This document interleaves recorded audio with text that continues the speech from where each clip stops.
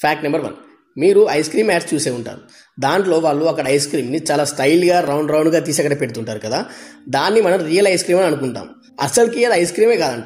అది ఉడికించిన పొటాటో అంట. నిజానికి ఐస్ క్రీమ్ అక్కడ పెడితే వీలు తీసే టేక్లకి మెల్ట్ అయిపోతుంది కాబట్టి అందుకే ఇలా ఉడికించే పొటాటోని పెడతారంట. ఈ యాడ్స్ చూసి ఎంతమంది మోసపోయారో కామెంట్స్ చేయండి. ఫ్యాక్ట్ నెంబర్ టూ మీకు ఒక వింతైన గేమ్ గురించి చెప్తాను. ఆ గేమ్లో విన్ అయిన వారికి ప్రైజ్ కూడా చాలా బాగుంటుంది. అసలు ఆ ప్రైజ్ ఏంటో తెలిస్తే మీరు కూడా వెళ్ళి ఆడుతా అంటారు. ఇంతకీ ఆ గేమ్ ఏంటంటే వైఫ్ క్యారింగ్ కాంపిటీషన్. అంటే ఈ గేమ్లో వాళ్ళ వైఫ్ని ఎత్తుకొని రన్నింగ్ చేయాలి. నార్మల్ రోడ్ మీద కాదు వాటర్లో ఇంకా ఇసుకలో చిన్న చిన్న గోడల్లాగా ఉంటాయి వాటిని కూడా దాటుకుంటూ వెళ్ళాలి. ఇంతకీ ఈ గేమ్లో విన్ అయితే ప్రైజ్ ఏంటని అనుకుంటున్నారా?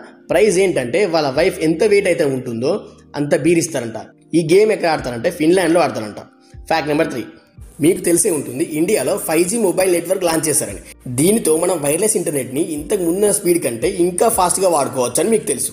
దీన్ని ఇప్పుడు కొన్ని మెట్రో సిటీస్లో మాత్రమే స్టార్ట్ చేశారు. Two thousand twenty three December వరకు ప్రతి డిస్టిక్లో అండ్ ప్రతి మండలికి వస్తుందని ముఖేష్ అంబానీ గారు చెప్పారు. అయితే నెక్స్ట్ ఇయర్ అంటే టూ థౌజండ్ ట్వంటీ త్రీ జనవరి ఫస్ట్ నుండి అమ్మే మొబైల్స్లో నావిక్ అనే కొత్త టెక్నాలజీని పెట్టాలని ఇండియన్ గవర్నమెంట్ ఆర్డర్స్ ఇష్యూ చేసింది. దీనితో స్మార్ట్ ఫోన్ కంపెనీలు షాక్ అయ్యాయి. అమెరికా తయారు చేసిన జీపీఎస్ని తీసేసి ఇండియన్ నావిక్ టెక్నాలజీని యాడ్ చేయాలంటే చాలా ఖర్చు అవుతుందని మొబైల్ కంపెనీస్ చెప్తున్నాయి. అసలు ఈ నావిక్ అంటే ఏమిటి? అదే మన ఇండియా ఎందుకు సొంతంగా తయారు చేసుకుంది? అని చాలామంది తెలియదు. దాని గురించి మనం తెలుసుకుందాం. దానికంటే ముందు ఈ వీడియోకి ఒక లైక్ కొట్టి మన ఛానల్ని సబ్స్క్రైబ్ చేయండి. కొత్తగా ఛానల్ పెట్టాను. లైక్ కొట్టి సబ్స్క్రైబ్ చేస్తే నాకు కొంచెం ఎనర్జీ వస్తుంది. ఇంకా మంచి వీడియోస్ చేయడానికి. ఓకే ఇక మ్యాటర్లోకి వెళ్దాం. ఇప్పుడు మనం వాడుతున్న జీపీఎస్ వ్యవస్థ అమెరికా చేతిలో పనిచేస్తుంది. అది మన కంట్రీకి సంబంధించింది కాదు. అమెరికా మనకి అన్ని రకాలుగా సాయం చేస్తుందని గ్యారంటీ లేదు. అది ఎప్పుడైనా మనకి హ్యాండ్ ఇవ్వచ్చు. పూర్తిగా నమ్మడానికైతే లేదు. గతంలో కార్గిల్ వార్ టైంలో మన ఇండియా శత్రువులను కనిపెట్టడానికి అమెరికాని జీపీఎస్ కోఆర్డినేట్స్ అడిగింది.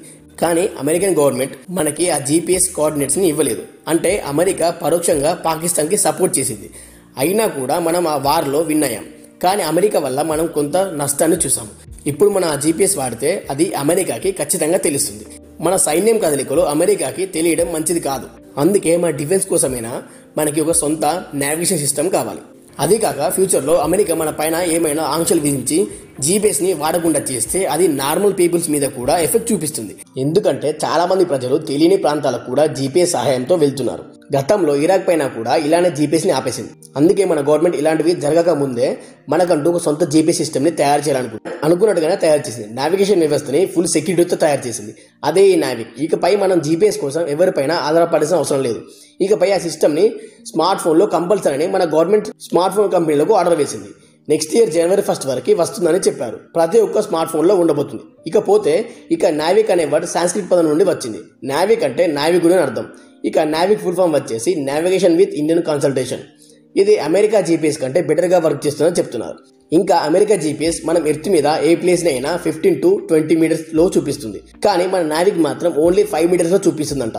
ఇది మొత్తం తయారు చేయడానికి ఫోర్టీన్ హండ్రెడ్ క్రోడ్స్ ఖర్చు అయ్యాయి. ఇక ఇప్పటివరకు అమెరికా రష్యా ఇంకా యూరోపియన్ కంట్రీస్ మాత్రమే తమ సొంత నావిగేషన్ సిస్టమ్ని కలిగి ఉన్నాయి.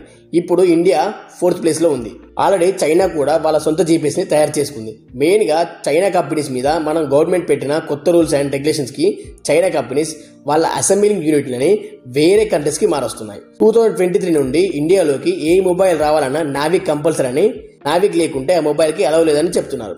దీనితో యాపిల్ శాంసంగ్ షోమీ కంపెనీలు దీని గురించి చర్చించుకుంటున్నాయి. ఇలా అయితే సపరేట్గా ఇండియా కోసమే నావిక్ టెక్నాలజీతో మొబైల్ తయారు చేయాలని అంటున్నాయి. కానీ తయారు చేయడానికి ఖర్చు ఎక్కువ అవుతుందని చెప్తున్నారు. ఇంకా టూ థౌజండ్ ట్వంటీ ఫోర్లో లాంచ్ చేయడానికి కొత్త మోడల్ మొబైల్స్ రెడీ అవుతున్నాయని కావాలంటే టూ థౌజండ్ ట్వంటీ ఫైవ్ నుంచి ఈ టెక్నాలజీ యాడ్ చేస్తామని చెప్తున్నారు. కానీ మన ఇండియన్ గవర్నమెంట్ దానికి ఒప్పుకోవడం లేదు. ఇక చూడాలి ఏమవుతుందని. కానీ మన కంట్రీకి సొంత జీపీఎస్ ఉండడం మంచిదని నా అభిప్రాయం. మీరేమనుకుంటారో కామెంట్స్ చేయండి. సో ఈ వీడియోకి ఇంతే. ఇంకేమైనా అప్డేట్స్ వస్తే మళ్ళీ ఒక వీడియో చేస్తాను. ఈ వీడియోకి లైక్ కొట్టి సబ్స్క్రైబ్ చేయండి. Bye bye.